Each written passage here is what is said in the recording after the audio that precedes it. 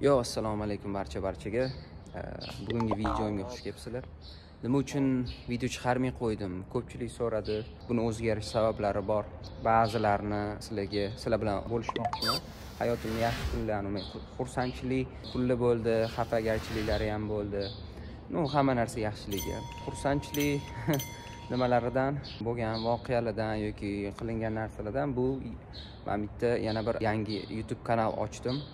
И o'zimni sal nutqim ustida video stillarim ustida ham ishladim. Xudo xohlasa bundan buyog'iga boshqacha stildagi videolar bo'ladi.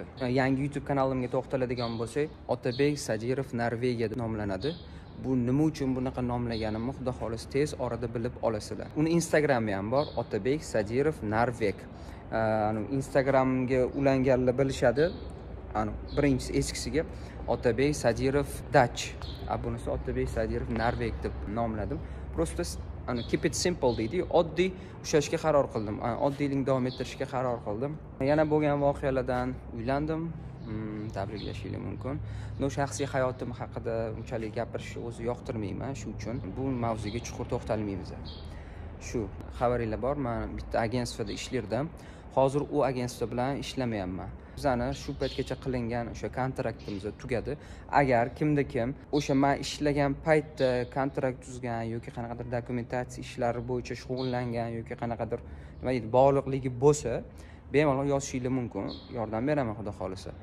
Yo уже bundan keyin уже bir oy bo'lib qoldi ishlamayotganligimga. Уже man ishni to'xtatgandan keyin agar tuzgan bo'lsa yoki endi yozmoqchi bo'lsa so'ramoqchi bo'lsa уже man anaqa bu mavzuga to'xtalmayman. Bu agentство bilan уже ishlamayapmiz.